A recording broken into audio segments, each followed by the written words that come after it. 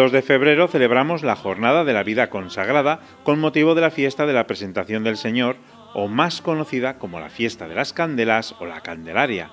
Jesús es ofrecido a Dios por sus padres y por boca del viejo Simeón, a quien inspira el Espíritu Santo, es revelada la luz para iluminar a las naciones.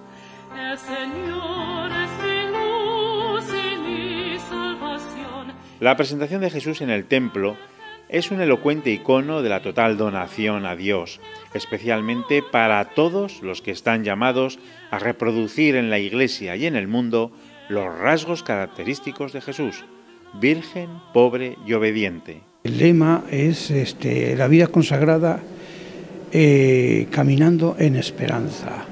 Entonces, bueno, pues es muy significativo, eso es muy significativo. Lo primero, eh, el día 2, eh, la presentación del Señor es una fiesta que digo, eh, digo yo ahí en la carta, de los materiales, que es una fiesta de iluminación y de esperanzas cumplidas. Es una fiesta de la vida consagrada. Así que felicitar, en primer lugar, aprovechando estas cámaras vuestras, a todas las comunidades de, vidas, de vida consagrada, religiosos, religiosas, institutos seculares, a todos felicitarles. En todo amar y servir, en todo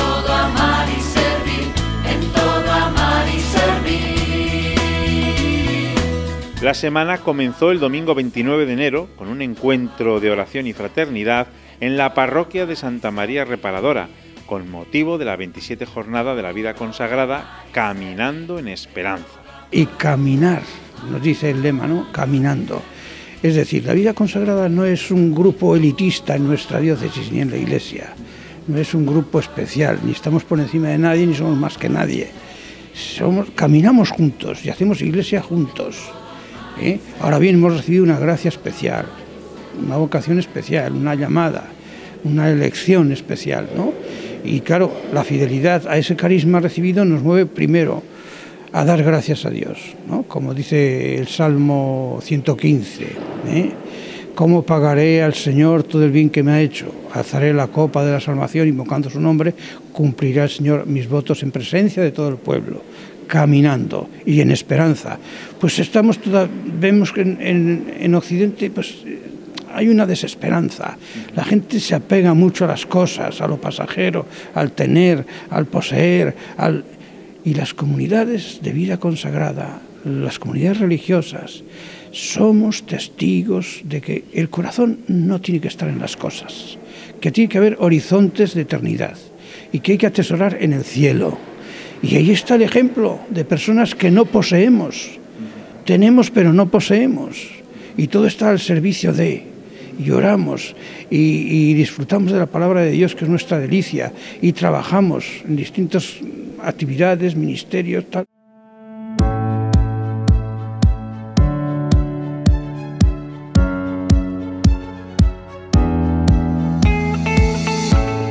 Raquel Alonso Manjón es un claro testimonio de la vida consagrada que les queremos presentar.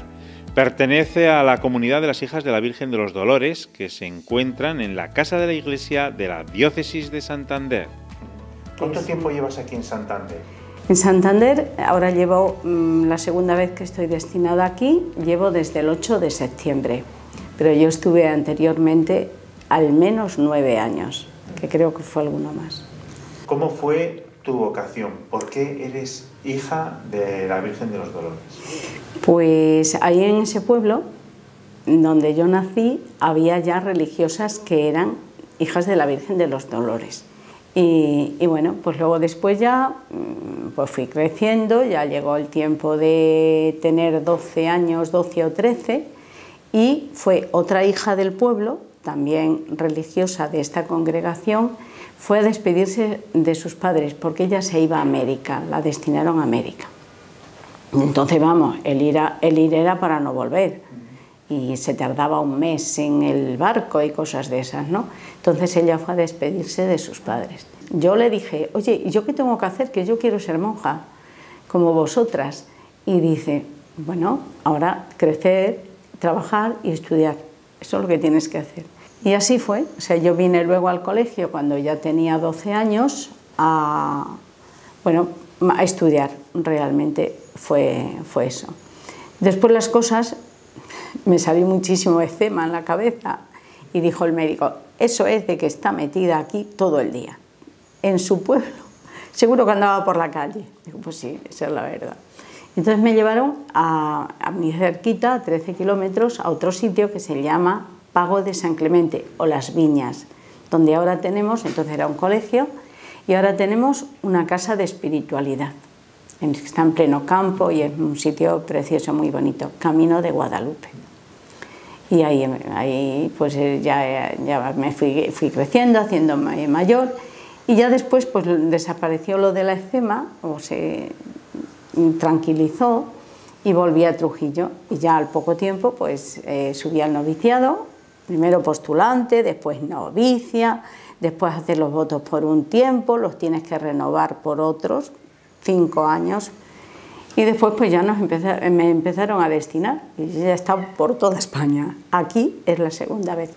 Son los tres votos, no tienes ningún voto adicional. No, no, ya son bastantes, ya, ¿eh? ya coge bien la vida entera. ¿eh? El de obediencia ya, vamos.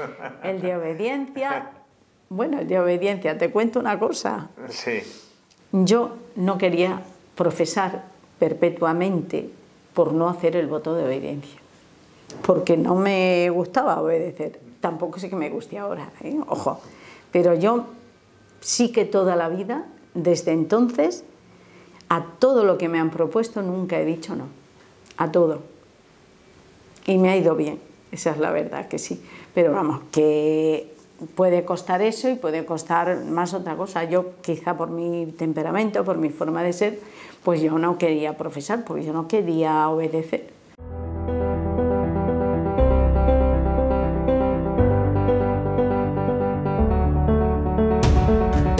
Las hijas de la Virgen de los Dolores nace en Trujillo, del interés de Antonia Hernández Moreno y del sacerdote Juan Tena Fernández en fomentar las vocaciones sacerdotales y religiosas para cualquier instituto.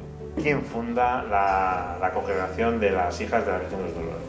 La fundadora, que es, era mayor, por eso voy a hablar primero de ella. Yo no la he conocido. Era una señora casada que mm, quería siempre ayudar a los demás. Cuando ella eh, tenía 17 años murió su mamá y su padre le dijo, era la mayor, que era la que tenía que estar al frente de la casa. Su padre era médico en el pueblo de Trujillo, Cáceres, y era un señor que entonces se recibía a los enfermos en la propia casa. Y ella, que era la mayor, pues no se atrevió a decirle a su padre que quería ser monja porque se quedó de, mamá de las otras dos eh, hermanas que tenía más pequeñas. Y bueno, con el tiempo, pues ella mm, fue conociendo fue creciendo, conociendo a la gente y hubo un, chico que fue allí a trabajar en no sé qué historia, si era abogado, me parece que era abogado, pues eh, se enamoraron y ella decide casarse. Pero hasta ahí, que es como lo que, lo que ella hizo, pues hay todo un proceso, un camino. Y fue una mujer que eh, se, estaba siempre pendiente de la gente necesitada. Y allí en el barrio había un montón de niños que no iban a la escuela porque no era obligatoria y no sabían leer ni escribir, ni se preparaban para la comunión. Entonces, doña Antonia, que así le llamaba, ¿eh? pues en su casa hacía de todo daba catequesis, enseñaba y no sé qué, y ayudaba allí.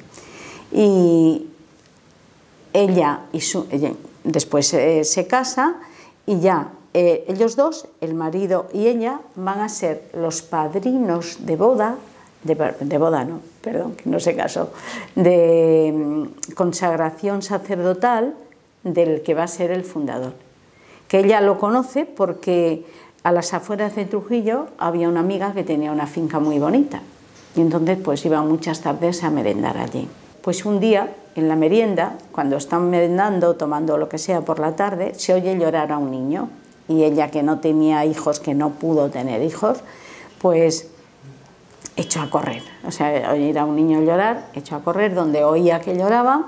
Resulta que era un niño todo que se había puesto las rodillas todas ahí llenas de sangre y que lloraba amargamente porque le dolía. Y entonces, pues ella le dijo que cómo se llamaba, que los niños, mm, a ella le gustaban mucho los niños y no sé qué. Y desde entonces es su madrina. Es, ellos, este, este niño es hijo de los que guardan la finca y ella pues como se, se rige en su protectora. El niño va creciendo, tiene un tío que es sacerdote y quiere ser sacerdote también. Y acude a una... El, el, tío tenía como una escuela de preparación para los niños que querían ir al seminario. Y él también va. Y cuando va al seminario, pues su marido y ella le llevan a Plasencia. Ella va haciendo, por un lado, eh, lo que es la ayuda a todos los niños de la zona, de, yo he conocido a uno que dice, yo soy lo que soy gracias a tu madre fundadora. Y es verdad. Entonces van pasando los años, el sacerdote va también creciendo y llega el tiempo del cantamisa. Entonces siempre ahí hay unos padrinos, pues los padrinos fueron su marido y ella.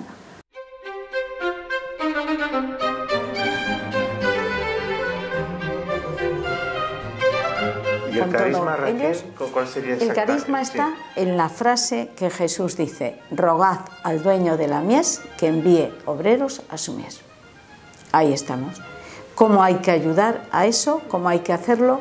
Pues primero siendo fiel a, tu propia decisión, a tu propia vocación de seguimiento en la vida. Nosotras tenemos eh, una oración que cuando estamos en la capilla reunidas acabamos siempre con ella.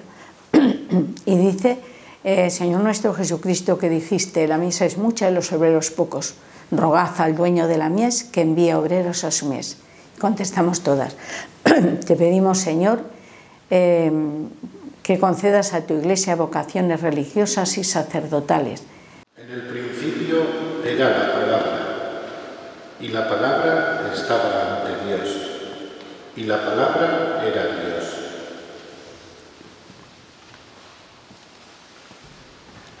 Ella estaba ante Dios en el principio. Por ella se hizo todo, y nada llegó a ser sin ella. Aunque no fuera él la luz, le tocaba dar testimonio de la luz. Eh, digamos que este año ya es un año posterior a digamos el fin de la pandemia, ¿no? Eh, ¿Cómo se está celebrando pues eh, este año? Pues sí, esos dos años y pico de, pandemia fueron una verdadera prueba para todos y también pues para las comunidades eh, de vida consagrada. ¿no? Entonces eh, se trata de recuperar pues una, normalidad que es necesaria para vivir en plenitud pues nuestras actividades, nuestros ministerios, nuestra, nuestra entrega a los demás. Entonces, pues con, con, con alegría, con decisión y bueno, respirando un poquito más, eh, más tranquilidad en todo, sí. Hubo problemas en algunas cosas, pero favoreció mucho la vida comunitaria. Favoreció la convivencia entre nosotras, eso como positivo. Hubo un contacto mayor, hubo un crecimiento quizá en la comunidad, en el trato, en, el conocernos más y que hubo pues muchísima pena también por las historias y los muertos de cada día. Eso es lo peor. Se han retomado pues, eh, pues todos los trabajos normales de cada casa, de cada monasterio, de cada comunidad religiosa, mm, masculinas, femeninas, eh, docencia, eh, dulces, huertas, restauraciones, la fabricación y la elaboración de formas y sobre todo la relación también con las personas, con los laicos, con las personas cercanas a cada comunidad religiosa en su entorno. Y permite ya una relación pues, pues más cordial, más cercana, la disposición ya es, es accesible a las personas de unos para con otros y eso es una gracia que Dios nos ha dado. Yo creo que nosotros sí hemos aprendido la lección. Lección de humildad, lección de infundir esperanza, que es el lema de este año, a la gente para retomar ese camino con confianza. Sí.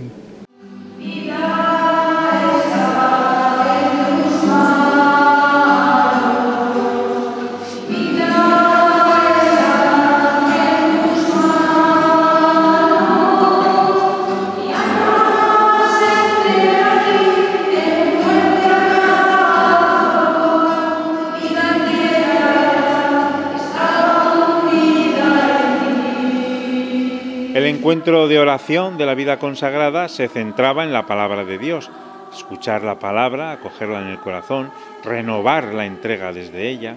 Don Manuel Sánchez Monje, obispo de la diócesis de Santander, puso el acento de su reflexión en que la Iglesia no solo acoge y vive de la palabra de Dios y se alimenta de ella, sino que la comunica fielmente, porque ahí radica su misión.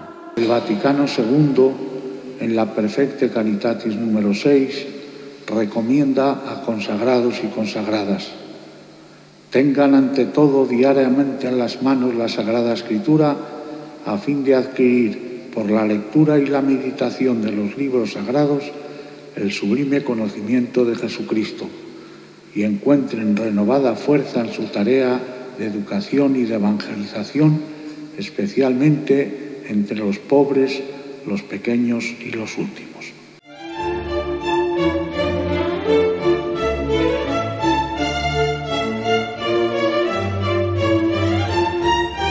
Los consagrados caminan en esperanza con el conjunto del pueblo de Dios, con sus hermanos y hermanas de orden, congregación y comunidad, de parroquia y unidad pastoral.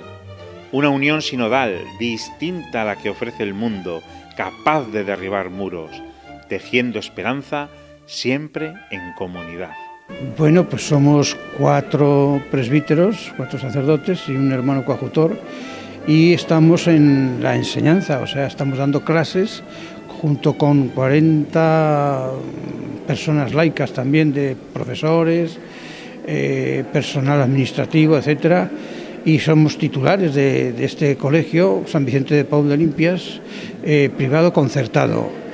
Y después estamos, eh, yo llevo la parroquia, la pastoral del pueblo de Limpias, el rector del santuario del Santísimo Cristo de la Agonía de Limpias, y eh, otro compañero mío que está un poquito más liberado de clases, pues lleva también dos pueblecitos, la pastoral de dos pueblecitos de, de por allí del interior, sí.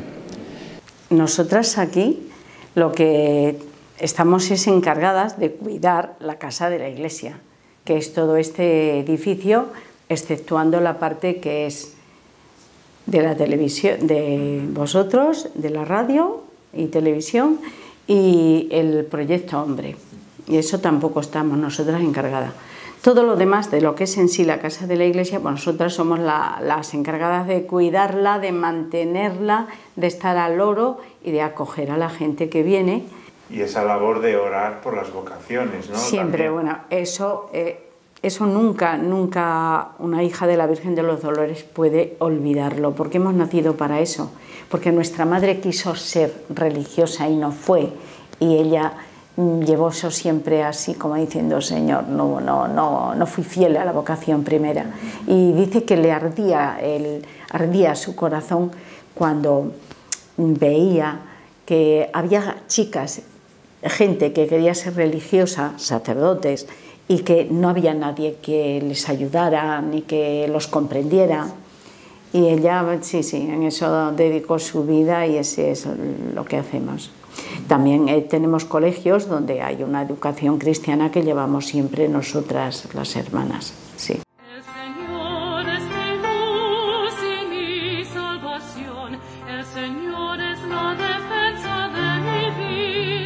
El delegado episcopal residente en la comunidad San Vicente de Paul de Limpias hizo un llamamiento a que el próximo jueves 2 de febrero, cuando celebremos el Día de las Candelas, tengamos presentes a las comunidades de vida consagrada que caminan en esperanza. Pues el día 2, que es la fiesta, pues eh, tener presentes todas las comunidades parroquiales y, toda, en general toda la iglesia diocesana en, Santander, la importancia de la vida consagrada de las comunidades religiosas, que discretamente, humildemente son luz eh, mm, del mundo por su esperanza, son también fermento de la masa y son personas que, tenemos que, que orar y celebrar mucho juntos.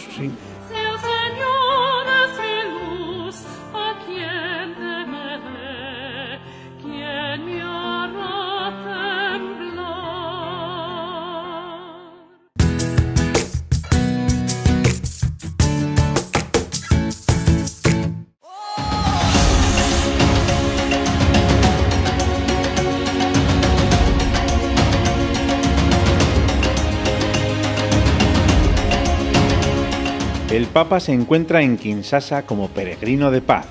El Papa Francisco llegó el martes 31 de enero a Kinshasa, en la República Democrática del Congo, primera escala de su viaje apostólico a África, el número 40 desde el inicio de su pontificado y que también tocará Sudán del Sur. El Papa Francisco fue recibido en el aeropuerto de Kinshasa por el primer ministro que lo esperaba a los pies del avión, junto a dos niños con sus vestimentas tradicionales, quienes ofrecieron flores al obispo de Roma.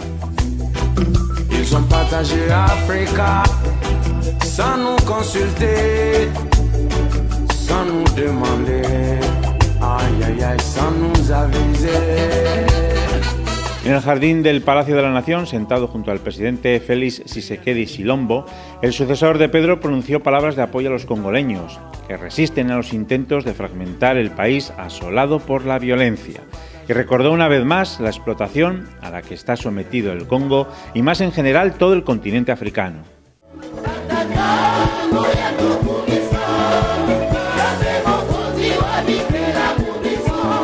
En la primera misa de su viaje, el miércoles 1 de febrero, Francisco habló de la paz y recordó que los cristianos están llamados a ser misioneros de paz y a colaborar con todos, a romper el ciclo de la violencia y a desmantelar las tramas del odio. Dos cántabros nos hablan de este viaje del Papa a África. La misionera cántabra Ana María Gutiérrez, esclava del Sagrado Corazón, nos cuenta la realidad del Congo con la que se encuentra el Santo Padre, donde solo el 10% de la población vive en una inmensa riqueza, mientras el otro 90% vive con menos de 2 dólares al día. Y bueno, aquí eh, estamos en el parque de la catedral que se prepara para, esta, para este recibimiento eh, por otra parte, el Congo que se va a encontrar el Papa es un país con un gran potencial humano, lo cual es muy positivo. El 80% de la población tiene menos de 40 años. Eh, las grandes tasas de, mm, de niños que no pueden acudir al colegio, donde hay un 40% de niños que no están escolarizados, lo cual es un grave problema. También hay un problema importante de malnutrición, hay un 30% de, malnutrición, de tasas de malnutrición infantil. por otra parte, es un país donde el 40% de la población es católica. Eh, si ponemos el ejemplo de Kinshasa, donde actualmente se dicen que hay más, de 20 millones de habitantes, pues podemos calcular que estamos en 8 millones, podemos calcular 7 o 8 millones de, católicos. Un viaje no exento de peligros, en dos países en los que la palabra del Papa puede ser puente en los conflictos. Nos lo cuenta Juan Carlos Velarde, sacerdote de la diócesis de Santander y cronista de los viajes del Papa en Vatican News. Y ya estamos preparados. Eh, a mí me llegará pues, dentro de unos días ya todos los textos, los mensajes, las homilías que el Papa va a pronunciar eh, en la República Democrática del Congo y en Sudán del Sur. Es un viaje, eh, yo creo que incluso le, tacharía un poco de peligroso, porque recordemos que hay un, problema de violencia dentro de ambos países, ¿no? Pero el Papa Francisco eh, va en nombre de la paz, eh, intentando llevar esa semilla tan importante que nuestro mundo, ¿no? que es hoy quizás en estos días es, más, más que necesaria, ¿no? esa paz y él va a llevar ese mensaje, el mensaje del Evangelio, para que tanto la República Democrática del Congo como Sudán del Sur pues vivan en, paz, que es mucho más eh, lo que nos une que lo que nos separa.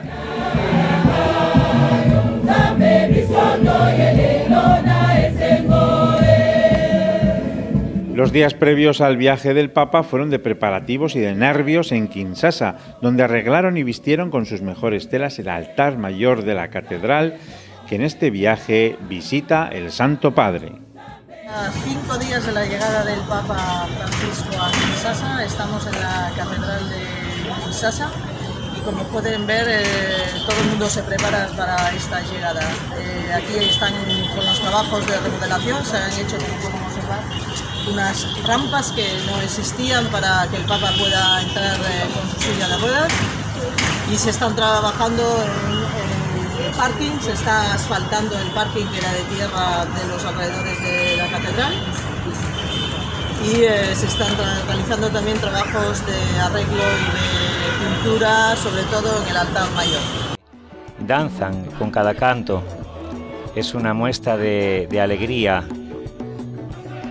una alegría interior que exterioriza. También nervios para Juan Carlos Velarde, que oímos su voz en las transmisiones en español de Vatican News. Bueno, pues se vive con mucha pasión. Yo la verdad que puedo deciros abiertamente que soy un apasionado. ¿no? Después de 18 años en, en, Radio Vaticano, pues me siento muy apasionado y cada viaje le vivo como si fuera el primero. Tengo la bendición de Dios de sentirlo así. ¿no?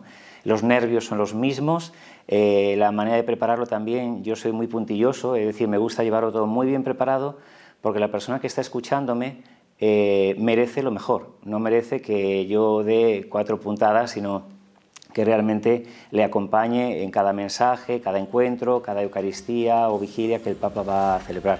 Por tanto, la palabra, eh, la respuesta sería con muchísima pasión y dando gracias a Dios, porque realmente el servicio que presto pues enriquece muchísimo eh, y como siempre digo también allí, yo siempre eh, siento que recibo más de lo que doy. Viaje a República Democrática del Congo y Sudán del Sur que se puede seguir en Popular Televisión Cantabria.